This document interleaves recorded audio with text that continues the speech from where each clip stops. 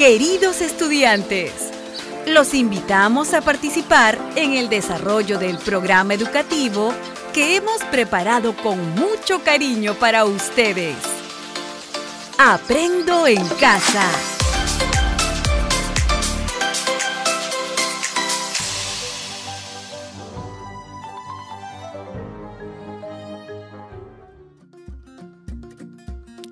Niñas y niños de tercer y cuarto grado de educación primaria, es un gusto volvernos a encontrar.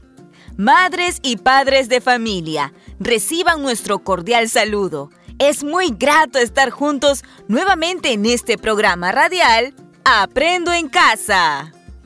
Soy el profesor Ronnie y junto a la profesora Vilma conduciremos este programa radial. Nos acompañan como siempre Yanira y Oscar, estudiantes del cuarto ciclo de primaria, a quienes les decimos bienvenidos. Buenas tardes, profesora Vilma y profesor Ronnie. Buenas tardes, amiguitos de todo el Perú. Saludos también a mi amigo Oscar. Hola, Yanira. Buenas tardes a todos los que nos escuchan. Estoy contento de estar con ustedes el día de hoy para participar de este programa radial y así desarrollar nuestras competencias comunicativas. Antes de continuar y debido a que el COVID-19 está afectando la salud de muchas familias, es necesario tener en cuenta las siguientes recomendaciones para cuidar nuestra salud. Lavarse las manos con agua y jabón frecuentemente. Mantener la distancia social. Usar correctamente la mascarilla al salir de casa. Evitar tocarse los ojos, boca o nariz con las manos sin lavar. Cubrirse con el antebrazo al toser o estornudar. Amigos, sigamos cuidándonos y así cuidamos la salud de nuestros familiares. ¿Qué debemos hacer antes de empezar a trabajar? Tener limpio el lugar donde vamos a trabajar. Tener cerca nuestros útiles escolares, como cuaderno o papel de reuso, lapiceros o lápiz para tomar apuntes. Maestra, yo tengo mi espacio bien ordenado. Niñas y niños de tercer y cuarto grado de primaria, ¿qué experiencia estamos desarrollando? Profesora Vilma, estamos desarrollando la quinta experiencia denominada El Perú en 200 años de independencia. Muy bien, nuestra actividad de hoy es dialogamos sobre los ideales de la independencia y cuáles de ellos se han logrado en nuestra comunidad. Repito, nuestra actividad de hoy es... Dialogamos sobre los ideales de la independencia que se han logrado en nuestra comunidad. El propósito del presente programa radial es que aprendan a dialogar sobre los ideales de la independencia y cómo se han manifestado los avances y logros en nuestra comunidad en estos 200 años de independencia. ¿Y qué aspectos faltan por lograr para ser la comunidad que queremos? Repito, el propósito del presente programa radial es que aprendan a dialogar sobre los ideales de la independencia y cómo se han manifestado los avances y logros en nuestra comunidad en estos 200 años de independencia. ¿Y qué aspectos faltan por lograr para ser la comunidad que queremos? ¿Cómo se desarrollará la actividad, profesor Ronnie? empezarán escuchando el fragmento de un texto y luego conversaremos sobre lo leído a partir de algunas preguntas. ¿Están listos? ¡Sí! ¡Yeah!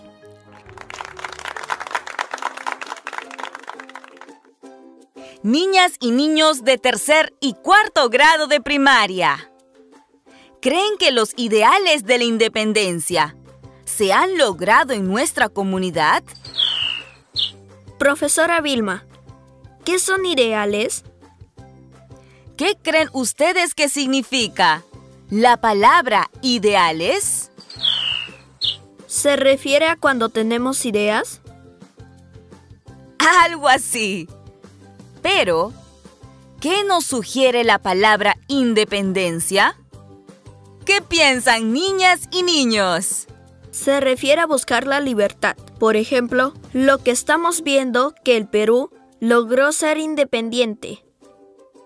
Entonces, si independencia es libertad, ¿qué piensan que puede significar ideales de la independencia? Yo creo que es lo que pensaban o las ideas para la población del Perú con respecto a la independencia. Si alguien tiene un diccionario, ¿puede buscar el significado de la palabra ideales? Busqué el significado de la palabra ideales y encontré lo siguiente.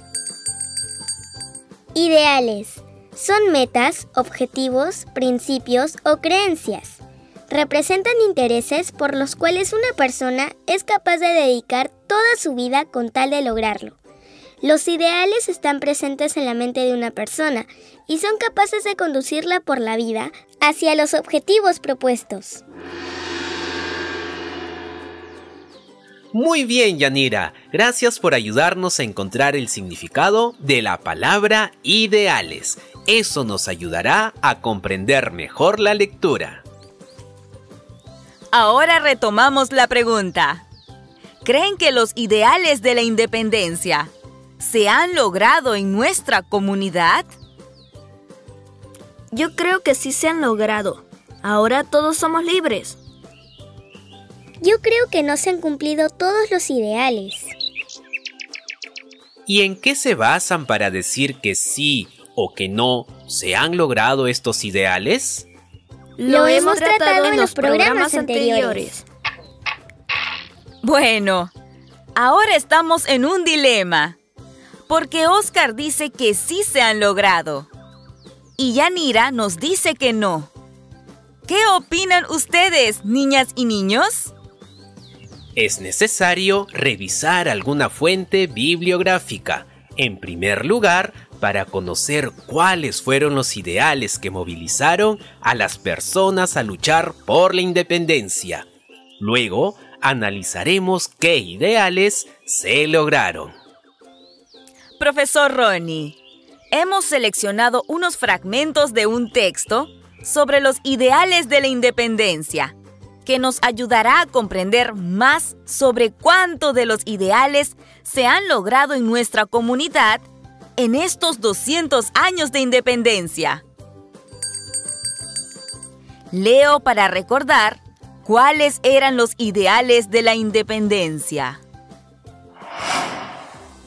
La independencia promovió la idea de la igualdad, aunque tal vez sin suficiente fuerza, y animó a los que buscaban una sociedad más justa.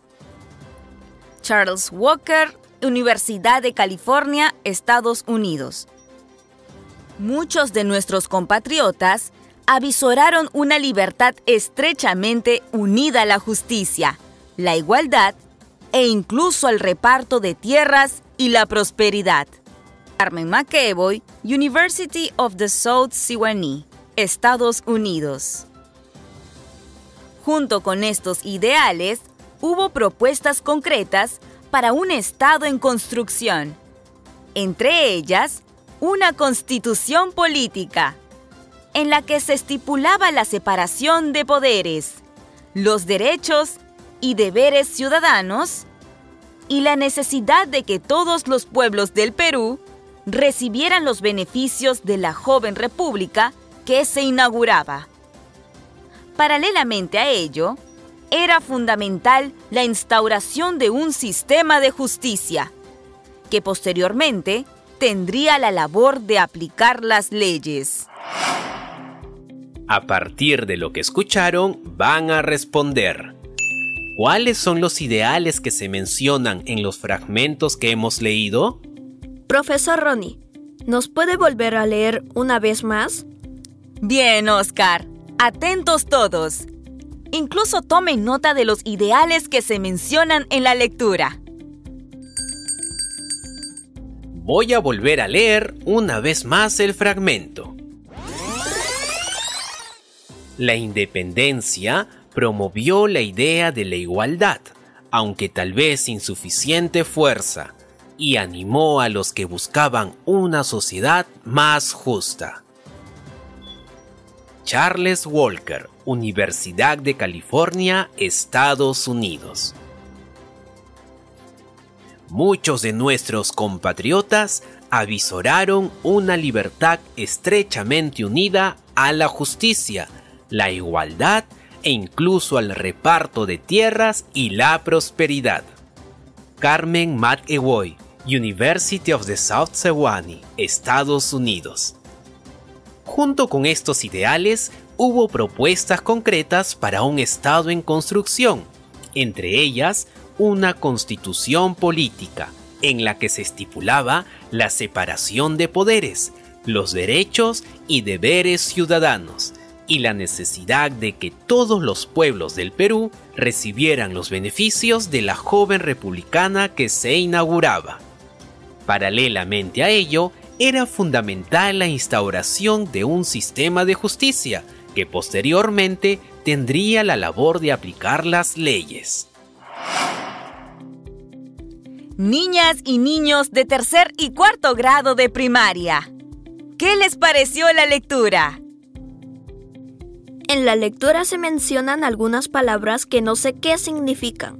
¿Me puede explicar, por favor? Claro que sí, Oscar.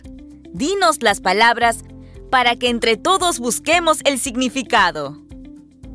He registrado las siguientes palabras. Avisoraron. Justicia. Estado. Constitución política.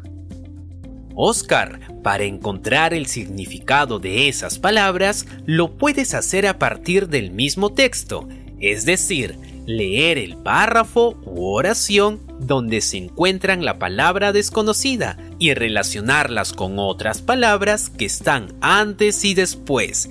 De esa manera podrás deducir su significado. Respecto al significado de las palabras que nos dice Oscar, veamos un ejemplo. Avisoraron.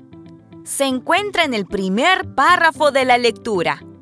Voy a leer detenidamente y ustedes tratan de interpretar su significado escuchando las demás palabras. Muchos de nuestros compatriotas avisoraron una libertad estrechamente unida a la justicia, la igualdad e incluso el reparto de tierras y la prosperidad. Cuando dice avisoraron, significa que nuestros compatriotas vieron venir la libertad unida a la justicia. Así es, Oscar, porque el diccionario también define la palabra avisoraron con sinónimos como vislumbrar, observar, ver, acechar, entre otros. Efectivamente, Yanira. En tal sentido, en el texto, la palabra avisorar significa ver o vislumbrar. Es decir, en el texto se refiere a que, explorando el imaginario de la gente, ellos veían una libertad unida a la justicia. Niñas y niños de tercer y cuarto grado de primaria, después de haber escuchado la lectura, incluso después de conocer el significado de algunas palabras nuevas, ahora respondan. ¿Cuáles son los ideales que se mencionan en el fragmento que hemos leído? Profesor Ronnie, creo que uno de los primeros ideales fue la libertad, porque en aquel entonces vivían gobernados por los españoles y tenían que hacer lo que ellos ordenaban y disponían. Efectivamente, Yanira, según el texto leído, ese fue el primer ideal en el cual pensaron. Pero, ¿qué significa libertad? ¿A qué se refiere? Niñas y niños, piensen, ¿de qué otro ideal nos habla la lectura? Traten de recordar. Otro ideal que nos menciona el texto es la justicia. Muy bien, Oscar. ¿Qué significa la justicia? Significa que debemos actuar con la verdad dando a cada uno lo que le corresponde. Por lo que hemos leído, este derecho no lo tenían quienes vivieron antes de la independencia de nuestro Perú. Efectivamente, Yanira. Ahora identifiquemos otro de los ideales de los cuales nos habla la lectura. Profesor Ronnie, el texto nos habla de la igualdad. Así es, Oscar. Ellos tuvieron este ideal. Pero, ¿qué significa igualdad? Significa ser reconocidos iguales ante la ley sin distinción de raza, sexo, idioma, lugar donde viven, etc. Antes de la independencia, los del pueblo no eran tratados por igual. Excelente, niñas y niños. Luego que hemos identificado los ideales de la independencia, los cuales son la libertad, la justicia y la igualdad, les pido que dialoguen con sus familias para ver cuál de estos ideales se han logrado en su comunidad. Para facilitar el análisis, vamos a elaborar una tabla o un cuadro en la cual van a ser cuatro columnas y cuatro filas. En la primera fila, vamos a poner los títulos de lo que vamos a escribir más abajo. Empecemos con los títulos. En la primera columna, escriban Ideales de la Independencia.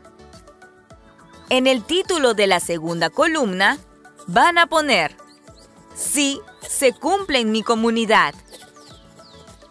En el título de la tercera columna escriban, no se cumplen en mi comunidad. Y como título de la cuarta columna, pongan, escribo un ejemplo para mi respuesta. Ahora en la primera columna, debajo del título Ideales de la Independencia, escribiremos Libertad. En la siguiente fila, Justicia. Y en la última fila, igualdad. Así es, Oscar. Luego, al frente de cada ideal, haremos una X o check debajo de los títulos si se cumple o no se cumple. Frente al ideal libertad, pondré un check en si se cumple, porque ahora todos somos libres. Creo que ahora, en el 2021, todos los ideales se han cumplido. Oscar, creo que cada uno debe evaluar sus respuestas. Si bien creo que el ideal de la libertad lo logramos con la independencia del Perú, pero los otros ideales, referente a la justicia y la igualdad, cada uno debe colocar sus respuestas analizando si se cumplen estos ideales en la comunidad donde viven. Así es, Yanira. La respuesta a los ideales justicia e igualdad puede ser distinta de cada uno de ustedes, porque en algunos lugares es distinto de otros. Por ello, conversen con sus papás o familiares que les están acompañando y reflexionen sobre estos ideales. Ahora, por cada respuesta que hayan puesto, bien sea sí o no, deberán poner un ejemplo que explique su respuesta. En el ideal justicia, yo pondré que no se ha logrado, y como ejemplo escribiré que a mi tío le pidieron dinero prestado y no le devuelven. Él ya denunció hace años, pero no le hacen justicia. Mm, puede ser un caso aislado, Yanira. aunque sí creo que falta mejorar en la justicia en nuestro país para que sea más ágil. Es respetable el punto de vista de Yanira. Cada uno de ustedes debe hacer un análisis sobre cómo están estos ideales en su comunidad y escribir sus respuestas acompañadas de ejemplos. A partir de lo conversado, preparen sus conclusiones sobre los avances, sobre los logros en su comunidad durante los 200 años de independencia y qué cosas faltan por lograr.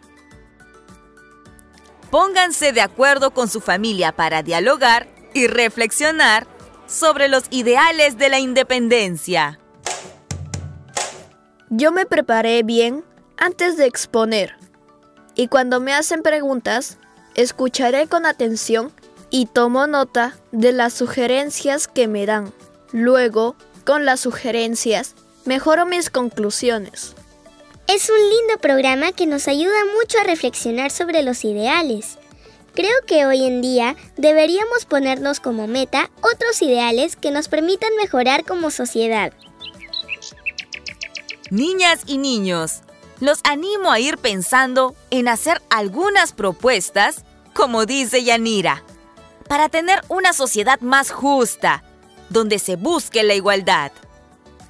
Profesora Vilma, nos estamos preparando para escribir nuestro discurso en el último programa. ¡Qué bien, Oscar! Estoy segura que todos se están preparando. Lo harán muy bien. Niñas y niños del tercer y cuarto grado de primaria, llegamos al final de nuestro programa radial y deben evaluar su aprendizaje. ¿Podemos autoevaluarnos? Claro que sí, Oscar. Conversen con sus familiares utilizando las siguientes preguntas. ¿Cómo te sentiste durante el programa? ¿Qué te gustó más de lo que aprendiste? ¿En qué tuviste más dificultad?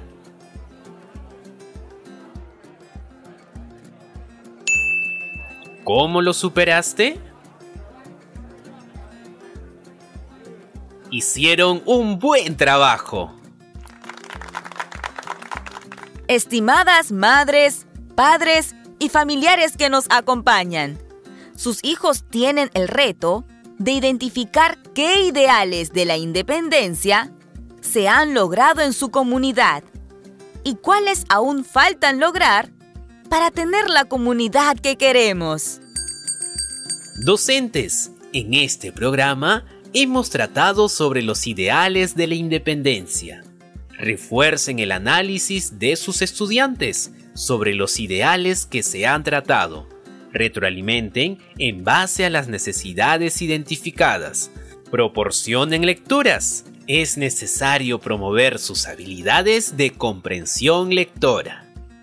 Agradecemos su sintonía y participación en este programa. Los esperamos en el siguiente programa radial Aprendo en casa para seguir trabajando y aprendiendo juntos. ¡Hasta pronto! Hasta la próxima, amiguitos.